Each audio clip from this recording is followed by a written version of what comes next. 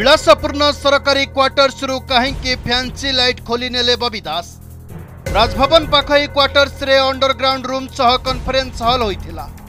କେଉଁ କମ୍ପାନୀ ଅଧିକ ପ୍ରାୟ ଦୁଇ କୋଟି ଟଙ୍କା ଖର୍ଚ୍ଚ କରିଥିଲା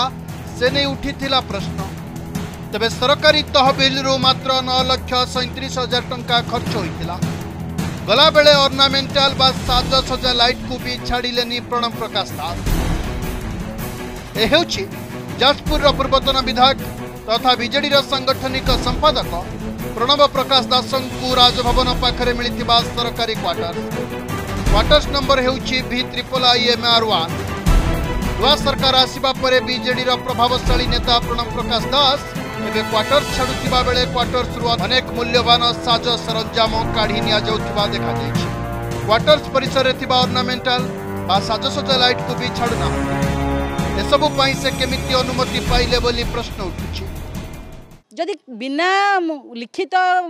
ପେପରରେ ସେମାନଙ୍କୁ ଏ ଅଧିକାର କିଏ ଦେଇଥିଲା ସେଠି କାମ କରିବା ପାଇଁ ଯଦି କାମ କରିଥିଲେ କଲା ପରେ ନେଲେ କେମିତି ବର୍ତ୍ତମାନ କୋଶ୍ଚିନ୍ ଉଠୁଛି ମୁଁ ତ ଅନୁରୋଧ କରିବି ବର୍ତ୍ତମାନର ନୂଆ ସରକାରକୁ ଯେ ଯେଉଁ ଯେଉଁ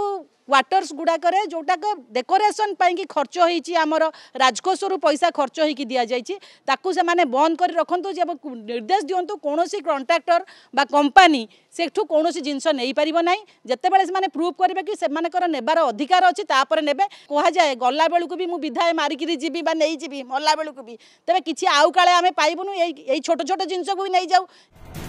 ଦୁଇହଜାର ଉଣେଇଶରେ ନିର୍ବାଚନ ଜିତିବା ପରେ ପ୍ରଣବ ପ୍ରକାଶ ଦାସଙ୍କୁ ରାଜଭବନ ପାଖରେ ଏହି ଆଠ ବଖରିଆ ସରକାରୀ କ୍ୱାର୍ଟର୍ସଟି ଆବଣ୍ଟିତ ହୋଇଥିଲା